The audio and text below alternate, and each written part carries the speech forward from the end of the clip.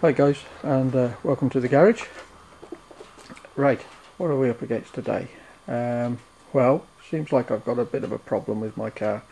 Um, basically it's making a high-pitched squealing noise uh, when it's running along the road at anything above 2000 rpm really. Um, so I've been in touch with the uh, the guys that service it and they have told me that the most likely cause is the drive belt at the front of the engine, the belt that drives the alternator and the air conditioning and so on. Um, and it's not uncommon for the earlier cars to have this problem, but most of them have actually been fixed during service. Uh, well, mine's not had this issue before, so it's never been fixed. So it's uh, it's not in warranty any longer. It's seven years old now, so it's down to me to fix it really. So the guys that serviced it said I needed to buy the new pulley which is modified um, which I have here. Uh, it's basically it's got two shoulders front and rear as as opposed to the original which only has one shoulder. So that's the modified pulley. And as I've got to take the belt off anyway um, I thought I might as well buy a new one. Uh, and it's a hell of a hell of a long hell of a long belt so I'm not quite sure where it actually all goes yet so I need to get in there and find out. But as you can see genuine Aston Martin belt made in the USA so first off I'll give you an indication of the noise. Um, then if any other owners experience a similar problem then they'll be able to hopefully identify it from this. Uh, I'll just start the car up and you'll get to hear this uh, the squealing noise that I'm talking about hopefully anyway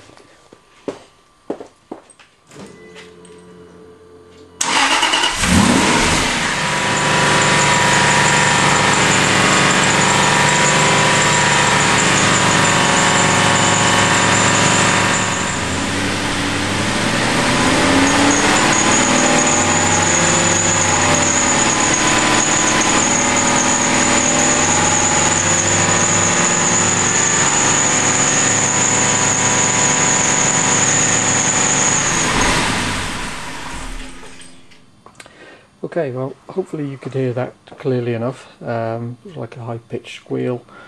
Um, that's quite distinctive, really, and it all happens above 2,000 RPM and doesn't go away. So the the faster you go, the louder it gets. Um, so obviously, it needs sorting out. So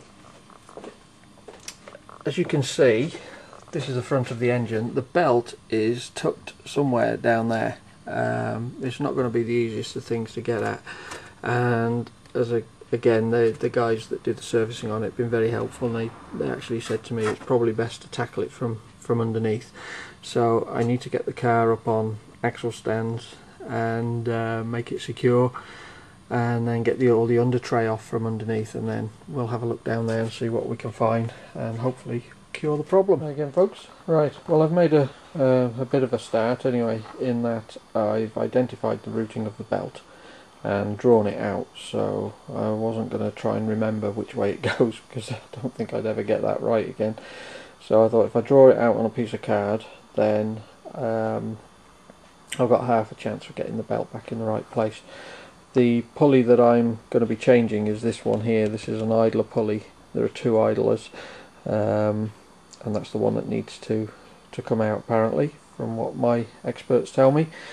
So tomorrow morning I shall be making a start on that. Um, I know how to release the tension on the belt. You just need a 3 8 drive wrench um, so release the tension slide the belt off uh, remove that pulley that needs changing and hopefully um, it should all go back together pretty good. So that's what I've done up to now.